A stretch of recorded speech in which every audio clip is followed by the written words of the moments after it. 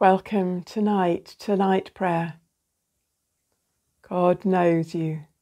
God loves you. God's chosen you. So as we come, know that He is delighted with you.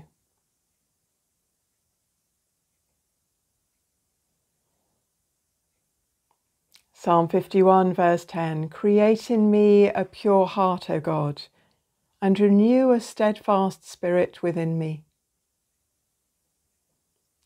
The Lord Almighty grant us a quiet night and a perfect end. Our help is in the name of the Lord, who made heaven and earth. Bring to him those things on your heart and on your mind from this day, knowing again that our help is in the name of the Lord.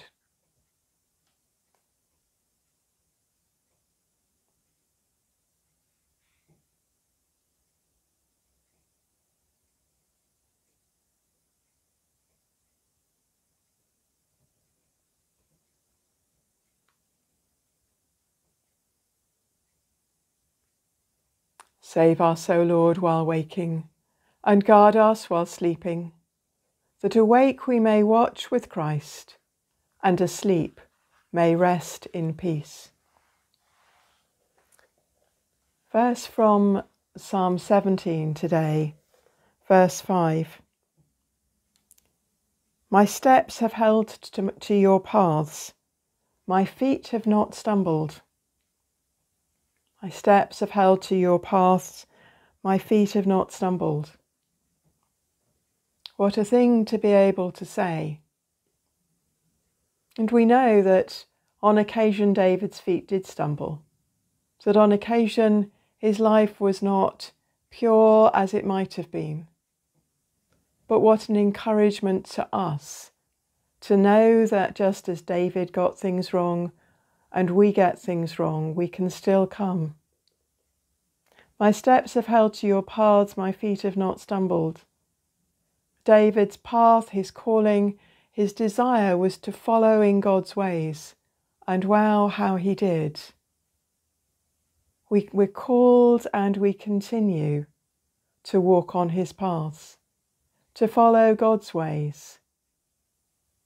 And we can ask too that He will help us not to stumble, that He will keep us on the straight and narrow, that He will keep us close to Him.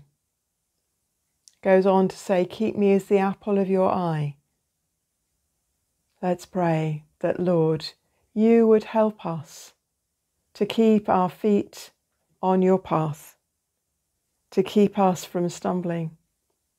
Help us to follow and to keep on following, walking in your ways, as we ask in Jesus' name.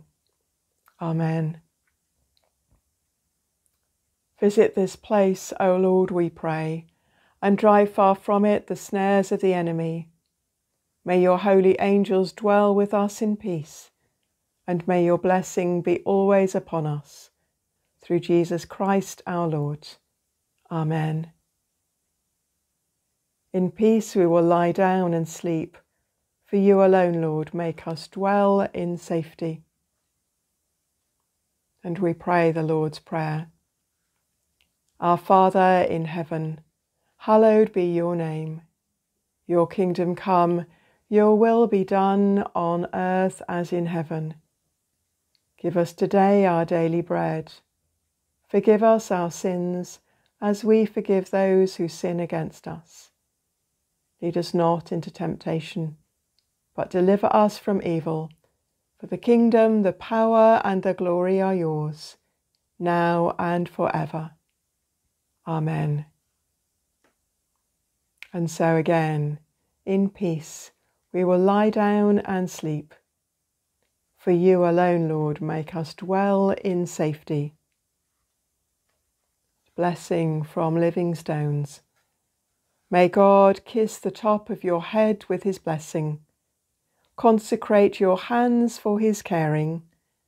Cleanse your feet for his journeying.